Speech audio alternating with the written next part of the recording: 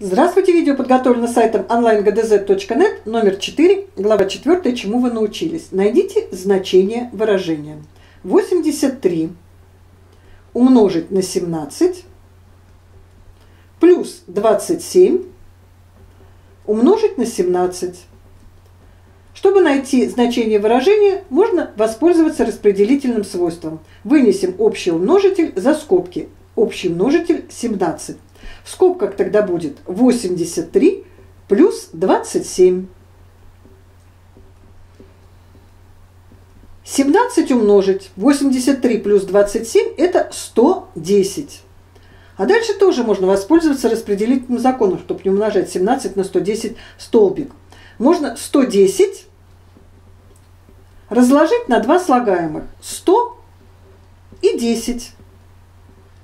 И опять воспользоваться распределительным свойством. Раскрыть скобки теперь.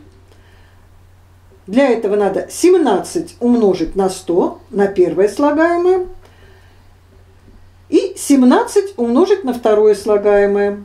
И полученное произведение сложить. 17 умножить на 100 – это 1700, плюс 17 умножить на 10 – это 170.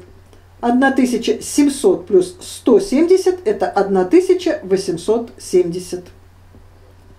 Если у вас есть вопросы или пожелания, то оставляйте свои комментарии под видео.